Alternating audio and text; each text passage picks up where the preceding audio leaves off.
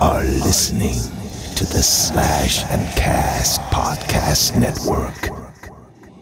Enjoy the show.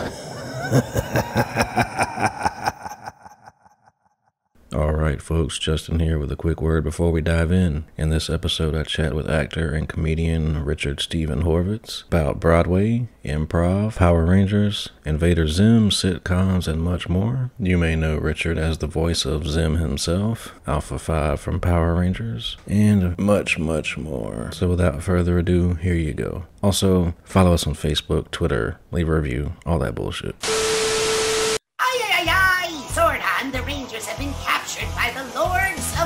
Monsters, Madness, and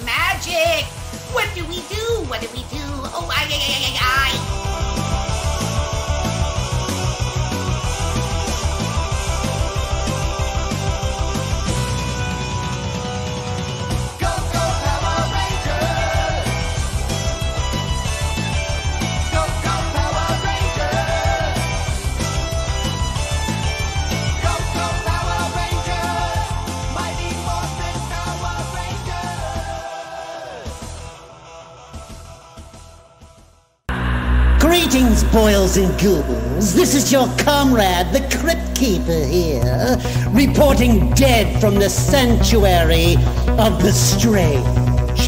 Tonight's macabre myth is a fright-filled feature, one overflowing with monsters, madness, and magic.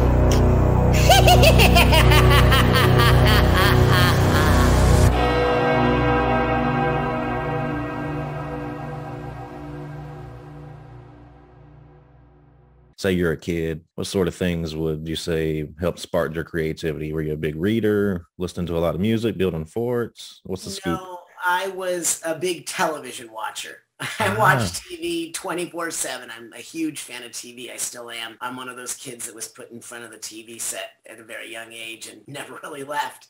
I was raised on shows like Speed Racer, Mm. Kimba, The White Lion, Six Million Dollar Man, The Brady Bunch, Partridge Family. I could go on and on. What is it fair to say that you were the class clown growing up? Yeah, I think I discovered humor at a, probably around kindergarten or first grade. Prior to that, I was very introverted. I was really, but once I discovered I knew how to p- make people laugh, then yeah, I was off and running. It's kind of a defense mechanism too, because yeah, I was, I was, you know, smaller than all the kids my age. I had a funny voice even as a kid. It was, you know, kind of like, you think it's chipmunky now, you can see me when I was, you know, prepubescent. But yeah, you know, you learn to make people laugh and, you know, you kind of can control a room, which I think is what I learned to do at a very young age. Right. You changed it into a superpower, use it to your advantage, you know? Exactly. What sparked your initial interest in the arts? Were you a theater kid or your Uh, parents I sort was of? a theater kid. I, I think I think that I was mostly a fan of two shows growing up. One was Get Smart, and I loved Don Adams, and I loved his timing. I thought it was just brilliant. Even as a kid, I thought it was funny, and I always wanted to. I wanted to be Maxwell Smart, really. But also, I was really into variety shows. Like I loved Sonny and Cher, Laugh-In, the Flip Wilson show in particular. I really loved a lot, and really, I loved Tom Jones, or as my mom used to call it, Tom Jones from England. And so I just started doing imitations of like James Cagney and I would do Geraldine, Flip Wilson's Geraldine. I would always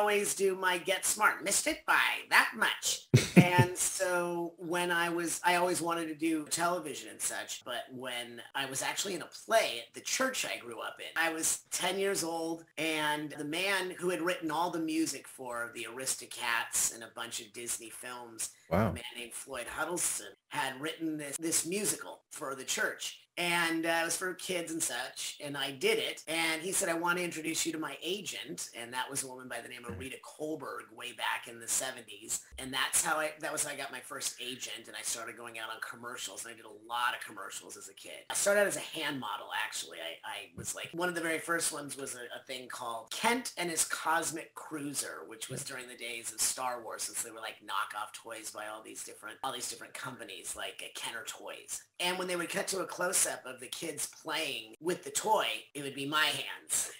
so my hands got more airplay than I did back then. And then when I then I did a bunch of like sit, I did sitcom stuff. I I did things like uh, Different Strokes, And then when I was about 13 year old, 13 years old, I was cast in my first equity production. It was a musical, Oliver, at the uh, Aquarius Theater here in Hollywood. And it was on Sunset Boulevard and it starred Dick Shawn and Stubby Kaye and all these luminaries from theater and film back in the day. Uh, Stubby Kaye was nicely, nicely in uh, Guys and Dolls with Frank Sinatra and, Wow.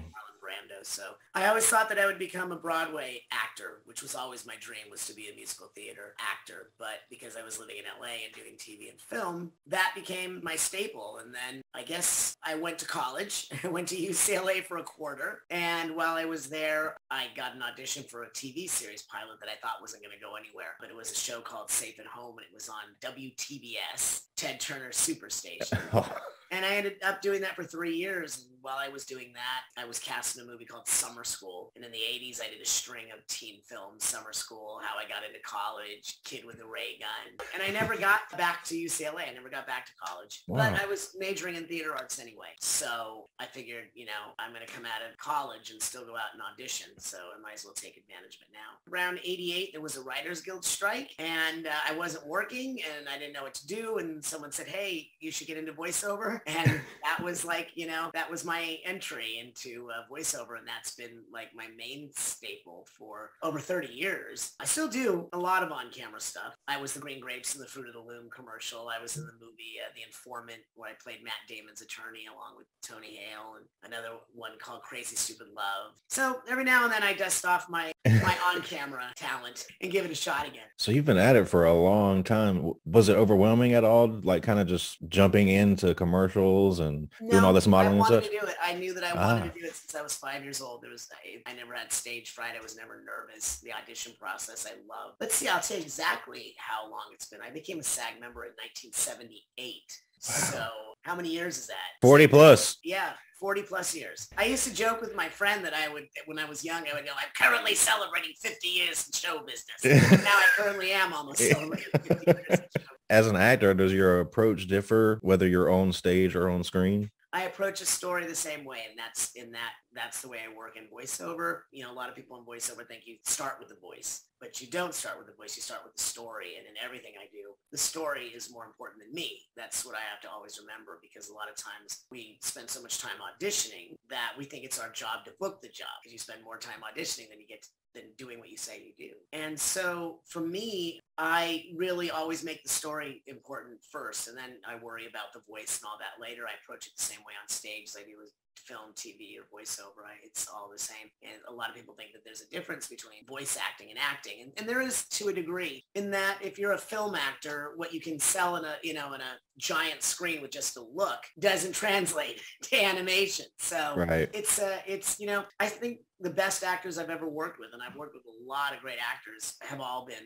voice actors. They know how to express in different ways for animation. And a lot of the voice actors that I've spoken to sort of speak to how improv has helped them a ton. And it's almost, they find almost a necessity in that avenue. Would you agree with Yeah, that? and a lot of people ask me what I suggest, what classes they take, and I always say start with improv and sketch comedy because I did sketch comedy for years and years and years. I was on Saturday Night Live and special segments, and I worked with Fred Willard for many, many years doing sketch comedy. I did it on the Tonight Show and the Jimmy Kimmel Show and different things. But those are always the best training grounds, in my opinion. Rob Paulsen said the same thing. It's kind of Ah, just, Rob. yeah, iron sharpens iron. When it comes to your voices specific, well, I guess each one will be different, but how much direction do you have initially with a voice or do the, you sort of work with the director? a lot of the times the creator of the show is the director in the beginning of a show because they have the image in their head. But if, if you take something like The Angry Beavers, which was one of my first series, the creator, Mitch Schauer, he loves old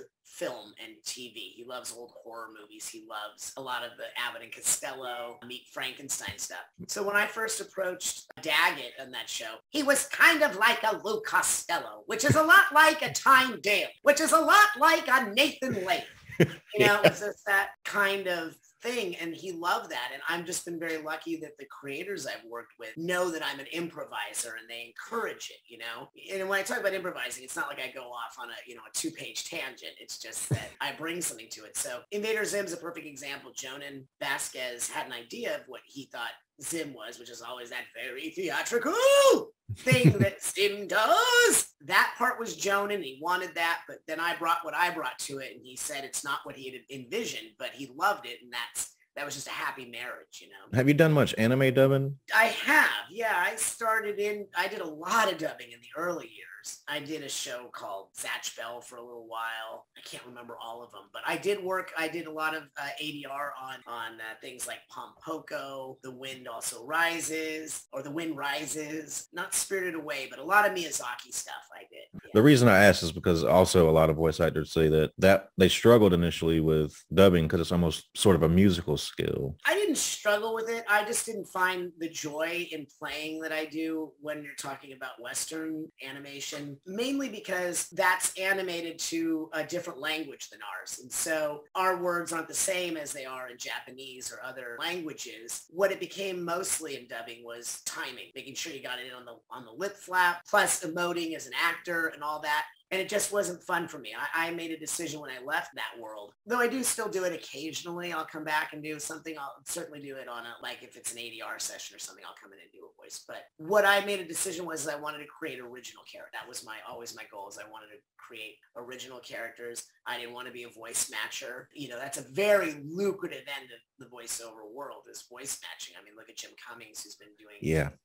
And Tigger 2 for, you know, over 30 years. Bill Farmer as Goofy, Bob Bergen as Porky Pig and Tweety Bird, etc. And they're great at it. I'm not great at it, so it's something that I just don't enjoy doing. And that's I've got two rules about what jobs I take. And the rules are I never I can never resent the money and I have to be able to have fun. Those are my two rules. You could always you could have the great the most money in the world, but if I don't enjoy the project or I'm not having fun, then I won't do it. But likewise, you could have no money, but it's a great story and I can have fun playing in that world and that's, and I'll do the job. So I, you know, I do, I, I think that actors have a tendency to think that they have to audition for and take any job that's sent their way. And certainly I get it because, you know, if you're, if you, if you're resting your whole well-being on it, but I'm, I'm pretty particular in the things that I choose to do. Right. So would it be fair to say that you would just enjoy voice acting more than stage and screen? I think I enjoy stage the most of Oh. everything. Stage is still my passion. I still hope to get to Broadway someday, but maybe I'll be as voiceover actor Richard Horvitz in his Broadway debut. Stage is still my number one love. I love voiceover. I love the process of voiceover. I love everything about voiceover. I love getting new scripts for animated series and getting to work with great actors. And even during the pandemic, we've been able to record in a group setting via Zoom. It's not quite the same energy as being in the room, but it's just nice to see people again. Film I enjoy because it reaches such a huge audience. Even if you have like two lines in it, even if you only have like five minutes of, of screen time in a film. That's a lot, believe it or not. And it reaches a huge audience. And but I don't. The process of filmmaking is so long and tedious that uh, I just enjoy the ease of voiceover for a couple hours. Hey, I hear you. So you just mentioned that you'd love to try Broadway. What's your dream role? You know, if you could start Broadway Yeah. tomorrow. Yeah, well, if I were younger, it would have been, you know, either Jesus and Jesus Christ Superstar or or Judas. Those are the two my two favorite roles in Nice. musical theater. That's my favorite all-time musical is Jesus Christ Superstar. But oh, that's a good one. I love so many. I love Hamilton, but I, I'm only right for the King in that. I think I would be good as the King. What other musicals are so many? I love Fiddler on the Roof. I'm getting old enough to play Tevye, so maybe that would be fun. Christ Superstar to Tevye. It's like it's kind of a, a capsule. So I'm a child of the 90s. My first experience with your work was the voice of Alpha 5 and the Power Rangers. Ah, yes, yes. So with that one specifically, did you have any direction going in or? That came at a weird time in my life. I was like broke and didn't know what I was going to do with my life. And I, I would, you know, I had a friend who was editing in this offline edit bay, Burbank, California. And he called me up one night at nine o'clock at night. And he's like, hey, there's this guy in here and he bought this show from Japan and it's, it's horrible. It's not going anywhere. They need a temp track for a robot. Will you come in and just do the voice right now? Sure. And I jump in the car and I get to the bay and I look up on the screen and the line was like, Zordon, the Power Rangers are in trouble. And Chaim Saban stood up and said, yes, that is the voice of Alpha. We will you be Alpha. We don't have to, we don't have to affect the voice. So that came to be. Nothing, great. nothing fancy about it. so how far along in the Power Rangers ride did you decide? Well, did you find out? Oh shit, this is not. This is something that's going to first stick. year, the first year it was like through the through the roof. The first year, and you know, obviously it's a testament that thirty some odd years later it's still going. The thing is, is that I myself and David Yost, Billy, we were the only ones who were in every one of the Mighty Morphin from beginning to end. By the end of that, everyone else had been replaced or fired or mostly quit. Was that a? Uh, well, you don't have to say, but was it a one of your least favorite experiences in terms of Yeah. working? Yeah, absolutely. Absolutely. I Wow. think they were not, I mean, I met great people. That part Yeah. was good, but I, it- it went against my rules. I resented the money and that was it. They were constantly trying to cut your pay and, and they were making more money hand over fist. Yeah, I was not happy. That's when I decided to get out of that world. If you're out out and about, which role do you say you get approached most about? Invader Zim by Ah. far is the one that people remember the most. Zim Zim was a really unique show. A lot of time, like you know, if I'm at a if I'm at a convention, they'll they'll remember most of my stuff, you know. Mhm. But because if you're coming up to my table, you know know my work most of the time. But Invader Zim, and I'd say my new show, uh, Helluva Boss, Moxxie, is really taken off. I mean, a lot of conventions lately, I've, I've signed more Moxxie pictures than I have Zim pictures. But I would say people know me from Zim the most. It depends, though, on your generation, because some might know me as Zim, but others know me as, as Chaos from Skylanders. So like people say that's Zim. They go, no, it's not. It's Chaos, you know, but that's just two different generations. Um, Billy and Mandy is probably I had a ton of fun with because that was, like I said, I've been very lucky with the creators of shows. They know that I improvise a lot.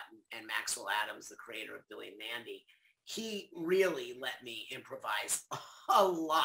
And so I'm always grateful to him for that. And I still am good friends with, I'm still friends with all the show creators. You work a lot with your voice, obviously. Do you drink any teas or do any exercises like that to No, protect I the moneymaker? you know, a lot of my roles are very yelly. And so, no, I've just been very lucky. I think, you know, uh, hopefully they hold out, but my voice has been this way for since puberty. And, uh, and so what I do is like with Invader Zim, I drink a lot of water. That's what I do is I drink, I'm constantly staying hydrated. That's the, that's the key. I don't do like honey and tea. I usually just do really hot water with lemon just lemon juice in it. And then I let my voice rest when I'm done with the session. I don't think people realize that working on an animated series, the energy of a Zim or Billy or any of them, you get really tired. It's a workout. So when I'm done with a show, with a recording of an episode, I'll just go in and I'll take a nap, you know, because I'm just, I'm, I'm exhausted. And I'm old. So naps, naps help.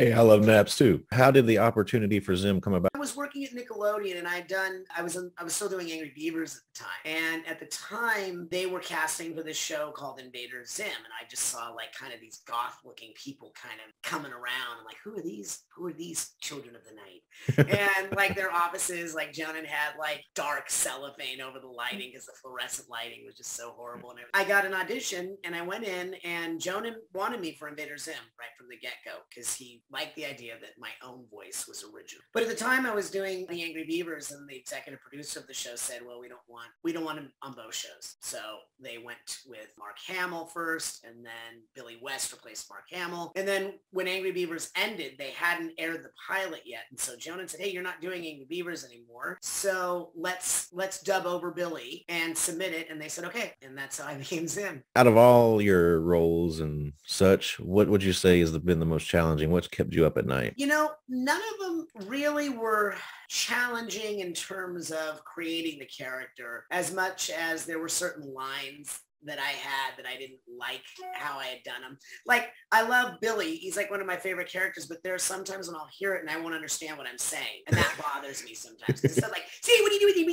It's like, wow, what, what did he say? And yet people hear it, but I don't. So I, I think I don't have a tendency to really watch my shows all that much. And when I do, I go, oh, that was good. Or but whenever I watched Invader Zim, I thought that was really great. Not just not me. I'm not saying I was great, but the writing and the and the cast and the artwork was so unique and of and just of a different time. You know, it was ahead of its time. But I feel that about all my shows. You know, I just think a lot of my shows were ahead of their time. I have a, a friend that my our running joke is that most of my shows and my video games are cult classics. But cult classic is just a euphemism for not commercially successful. You know, Zim became commercially successful years after because of Hot Topic and, and it GIR, GIR, GIR, GIR, everywhere GIR. America loves GIR. That's my running joke.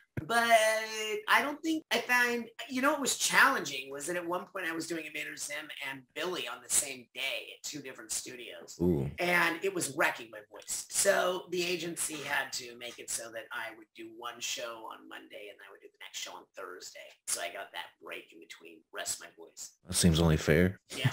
All right, so this is sort of so kind of in the same vein, but if you had a redo chance, maybe you could go back and have a second crack at something. What would what would that be? Well, I'd like to see Invader Zim come back because I it, I think it's just it ended too soon. And I'd love to see Billy. You know what? I'd love to see Billy and Mandy, Daggett, and and, and the Angry Beavers and Invader Zim all come back Agreed. because I had so much fun with them. And you know, we're living in the days of reboot, and and people are discovering them again, especially with things like Paramount Plus or Netflix or any of the other streaming services that runs our shows. You know. Mm-hmm. I was going to ask about streaming services. Did you notice a jump at cons and such, and people reaching out to you maybe when streaming services started picking up? Well, that's a good question. Did I notice anything?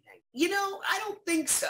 I don't think I noticed much of a change of anything because Invader Zim still kind of people watched it on YouTube, you know, because you could mm-hmm. watch episodes on YouTube and places. So I mean, I think that if you were a fan, what I do notice is if I noticed anything is that kids that had grown up watching my shows now had kids of their own. Mhm. And they have these, you know, they have these little toddlers coming up that are like fans of Zim. I'm like, wow, cool. So I think it's just that I've reached, you know, another generation of kids. It's always flattering, you know. Okay, so what would you say is the best advice you've received in your career? What is the best advice? I guess the best advice I ever received in my career was from my mentor and teacher, Diana Castle, who said, stop thinking as an actor and stop and start thinking as a human being and go from being an impressor to being an expressor. So that is the best advice that I could give. It's like, don't worry about impressing, focus on expressing. And I think that's true for any medium. Sorry, uh, the name's slipping me right now, but it's the Adult Swim project that you just mentioned that you've been working on. Oh, you mean uh, YouTube, a Helluva Boss. Yeah, yeah, yeah. Helluva Boss. Yeah, that's on YouTube, and that's uh, by created by a, a, a- an amazing artist named Vivienne Medrano. And Vivienne has a huge following on YouTube. I mean, like 5 million subscribers. Wow. Helluva Boss. Gets regularly 12 to 19 million views per one of our episodes. And that's amazing because that beats Yeah. cable numbers. Vivienne's exceptionally talented and I've been fortunate enough to been fortunate enough to get to work with her. And not only that, I am also I also voice direct the show I'm on, Helluva Boss, and another show that's coming out that I can't really talk about, but it's also a Vivienne show. So how's voice directing like for you being on the other side and directing other voice actors? I love it. I love it because I'm also a coach. I'm also a voiceover coach. I have a like a really thriving teaching class that I teach workshops of voiceover Hmm. acting. It's you know it just translates to that. In fact, Vivienne was actually a student of mine because she wanted to take voiceover acting well. So say I'm signing up for your class. What what kind of lessons do you want me to take away first day? Stop being an expressor. Stop being, an expressor. Start being an expressor, and know that it's not about the voice. That the voice does the work of the spirit of play. We play all the time, and you know most people think that you can't. You have to have a million voices to be in voiceover, especially in animation, which isn't true. I'm a living example that I don't have a million different voices. You know it's me in every show that I'm on or every video game. But I make the story more important than myself. So my world's changed. My want as the person in the story changes. And so you follow me into those stories. And so when I say the voice is the work of the spirit of the spirit, it means you do voices all the time. You don't even realize it. You like if you're talking to a baby, you go, hi there, what are you doing? You don't think to yourself, now what voice should I use? Hello, baby. No, that it's the voice does the spirit of the work, does the work of the spirit of play. That's the take takeaway. People forget how to have fun. People work so hard at things that it just, it, they take their own fun out of it. Well said, well said. Let's mm-hmm. sort of wind down here, Richard. What are some of your favorite films? Oh, wow, that's a good one. Godfather ranks up there. I love Godfather. I love, oh, you know what I love? I love Walk Hard, the Dewey Cox story with John C. I watched that over and over and over. I love uh, Kick-Ass. I watched that over and over and over and over. I love I love Shawshank Redemption. Great I love, movie. Uh, I love most of Albert Brooks's movies, particular defend, particularly Defending Your Life. Classic movies. I love Warner Brothers gangster movies. I love early Jimmy Cagney and Humphrey Bogart movies. I love them. I love them. I love them. I also love early silent movies like anything with Charlie Chaplin or Buster Keaton, and especially the Marx Brothers. I love the Marx Brothers. Have you seen anything recently that's moved you? Yeah, you know what? Uh, CODA was very moving. CODA was very moving. I don't know if you've seen it. I have not. It's with Marlee Matlin. I, let's see, that's moved me. Wow, that's a good question. Oh, you know what? West Side Story. West Side Story, you know, once I got past it's not the original and I saw what they were doing differently, I was like, okay, I'm in. And it just, it made me cry as much as the original. They did a couple of things that I wouldn't have done that really bothered me, but other than that, that moved me a lot, like to tears, especially the Maria and Anita scene. A boy like that would kill your brother, right? That was so well done. I would give the the best supporting actress Oscar to the woman who played Anita in that, which she's nominated for. So I wouldn't be surprised if she wins. She was So Richard, what's on the horizon for you? Is there anything you can tell us about coming up? Uh, well, Psychonauts 2 is still out and about. It's still doing well. I've got a couple of shows. I got I got another season of Helluva Boss that's going to come out uh, later this year. I'm working on a big video game thing that's coming out next year. Uh, so yeah, a lot of good stuff still happening. And, and you can always follow me on my uh, Instagram or Twitter. I think uh, my Twitter is Richard Horvitz. That's easy. And my Instagram is Richard Horvitz VO on Instagram. So uh, I always announce what's going on on there. Awesome. Richard, it's been a pleasure talking It's to you, It's been man. a pleasure. Thank All right. you.